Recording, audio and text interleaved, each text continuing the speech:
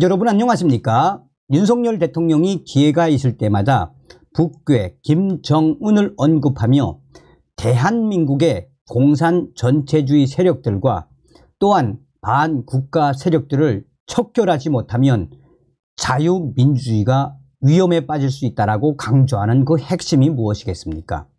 내년 총선은 그야말로 북괴 김정은 김여정에게 수석 대변인 역할을 잘했던 종북주의 정당 또한 친중 정당인 공산 전체주의 세력인 더불어공산당 민주당 세력들과 자유민주주의를 지키려는 세력들과의 싸움 아니겠습니까?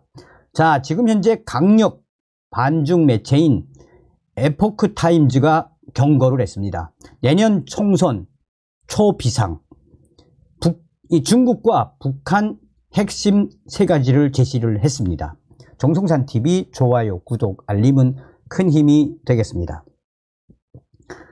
내년 한국 총선 초비상 중국 내년 4월 반윤 공작 반중 매체 Epoch Times Times 세미나, 세미나에서 이지영 교수 공개 경고 공산당 초환전 전략 북 국내 좌파와 연대의 여론 조작 반윤 공작으로 윤 정권 무력화 한미일 연합 붕괴 목적 국내 조선족 중국인 유학생 동원 온라인 조작 노릴 듯.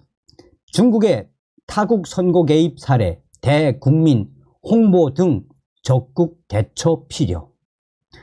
내년 총선에 앞서 북한뿐만 아니라 중국 공산당이 국내 좌파 진영과 연합해 반윤석열 공작을 펼칠 가능성이 있다라는 공개 경고가 나왔습니다.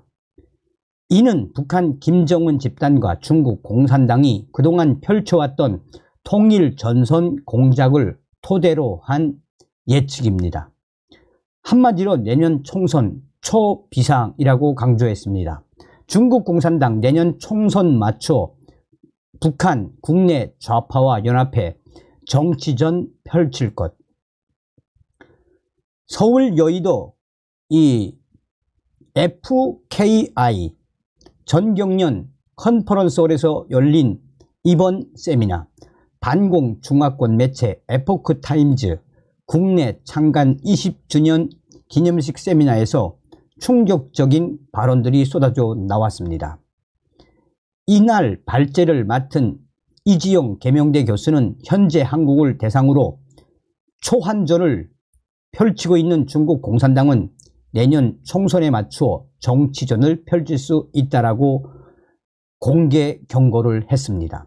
그러면서 세 가지의 핵심 사항을 밝혔습니다. 첫 번째는 중국 공산당이 우리나라의 내년 총선에 개입하려는 이유는 패권 전략 목표를 달성하기 위해 반드시 필요한 진검다리이기 때문이라는 게 이 교수의 설명입니다. 미국 이 미국 패배를 목표로 한 중국 공산당이 미국 패배를 목표로 한 중국 공산당이 볼 때 한국을 친중 국가로 만들면 한미, 미일 동맹과 한미일 연합 모두를 흔들 수 있기 때문입니다. 이를 단기적 목표로 우리나라에서 초환전을 펼치고 있다라고 강하게 역설을 했습니다. 중국 공산당은 이런 목표를 갖고 내년 총선에 앞서 북한 국내 좌파 진영과 직간접적으로 연합해 통일 전선 구축을 한 이후 여러 측면에서 윤석열 정부와 여당을 공격할 것이라는 게 이지영 교수의 경고입니다. 공, 중국 공산당과 북한 이들의 동조하는 좌파의 윤석열 정부 공격은 이미 여러 차례에 걸쳐 다방면에서 펼쳐졌으며 앞으로도 더 확대될 가능성이 매우 높다라고 강조했습니다.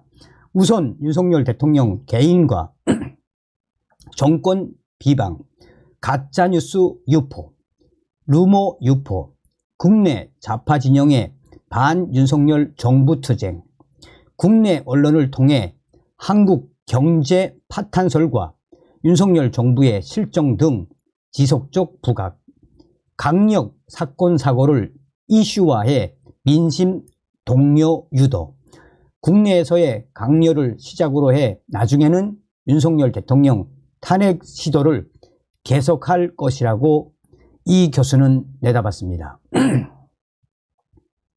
모두 윤석열 탓, 여론 조성, 윤 대통령 탄핵 주장도 같은 맥락. 두 번째 핵심 사항. 두 번째 공격은 윤석열 정부 출범 전부터 진행했던 공작의 강도를 높이는 것입니다. 그동안 언론 등 다양한 미디어를 통해 시행해 왔던 여론전을, 여론전을 강화하고 동시에 지금까지 국민들이 겪어보지 못한 강력 사건, 사고를 일으키거나 이슈화해서 민심 동료를 유도하며 그 원인을 윤석열 정부의 실정 때문이라고 여론 선동을 시작하고 여기다 경제 위기나 정책 실패도 모두 윤석열 정부 탓, 탓으로 돌리는 것이라며 최근 민주당의 윤석열 대통령 탄핵 주장이 위심스러운 이유가 바로 여기에 있다라고 주장하고 있습니다. 중국 공산당은 여기에 더해 외곽 지원 차원에서 대중국 의존도가 높은 원자재, 즉 요소수나 질소 같은 것에 대한 수출 제한을 실시해 한국 경제는 물론 민심까지 혼란하게 만들려고 할 수 있다는 것이 이지영 교수의 경고입니다. 세 번째 핵심 사안, 세 번째 공격은 바로 이 부정선거입니다. 중앙선관위에 대한 사이버 공격은 함부로 말하기 어렵지만 국내 거주 조선족들이나 중국인 유학생 등을 선거에 동원할 가능성은 배제할 수 없다고 이 교수는 지적했습니다.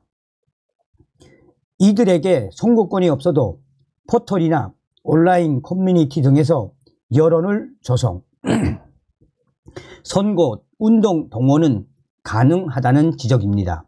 이런 공격이 반복적으로 또 동시다발적으로 일어날 경우 내년 총선은 우리 국민들의 뜻과 다른 결과가 나올 수 있다라고 경고했습니다.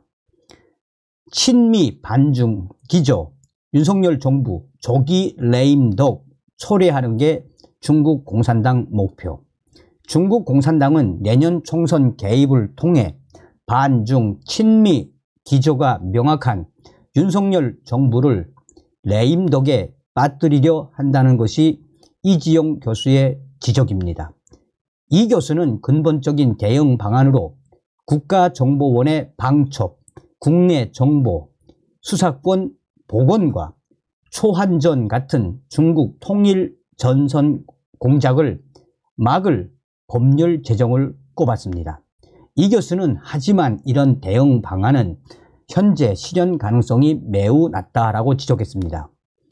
이 교수는 차선책으로 윤석열 정부가 내년 총선 때 외부 세력 개입을 차단하기 위해 적극 나서는 것을 제시했습니다.